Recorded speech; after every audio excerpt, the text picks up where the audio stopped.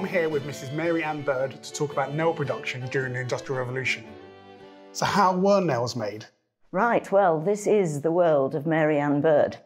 And all nails were actually made from a rod of iron, this kind of gauge, but six feet long. Now, there were hundreds of different types of nails, but they all started life from a rod that was like this. Now, you start making nails when you're five because at the age of five, you've actually got some strength in your hammer hand and you've got some hand and eye coordination. Because to actually make a nail that is like that, if you'd like to see that, you would only heat about half an inch, that's 12 millimeters, of the rod of iron in the furnace. Now, the furnace in a nail shop is in the middle of the floor and it's completely open. So six or seven people can all work round it. It's more cost effective that way. So you put the tip of the rod into the furnace and it gets red hot and pliable. And then you bring that out onto your anvil and then you hammer and stretch that small amount of pliable metal to make your nail. So you hammer and stretch, turn your rod, hammer and stretch, turn your rod, and you keep on going with that. Now, if you're an eight year old girl, remember you've been making nails since you were five. If you're an eight year old girl then you are expected to make over 200 of those an hour. So that is quite going some. And for each of those nails, you're looking at striking with the hammer over 30 times. So you are working extremely quickly and extremely hard. You're working from about six o'clock in the morning until 10 or 11 at night because you have a quota that you need to fill. Now, the thing you need to understand is that we know about the mining industries and we know about the cotton mills in, uh, in Lancashire, but in fact, the nailing industry is something that often you don't think about. You see nails, everybody uses nails, but you don't actually realize what kind of production they had. And it was only ever a cottage industry. So don't think huge, great nail shops with hundreds of people working. It was small family units that were working. And in fact, nailers were incredibly poor. And they were so poor, they couldn't afford to go and buy the rods of iron themselves. So they would rent their cottage and their nail shop from a nail master.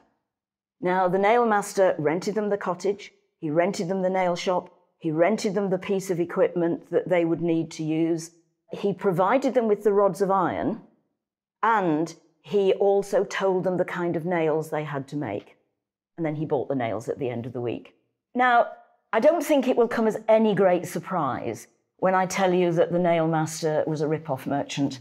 He saw it as his job to make as much money as he possibly could, and the only way that he could do that was by cheating and lying to the nailers. So when he provided them with their rods of iron to make the nails, it was short weight. And then, when he bought the nails at the end of the week, again, it was short weight because his scales would be wrong. And he could actually cheat the nailers by as much as 50%.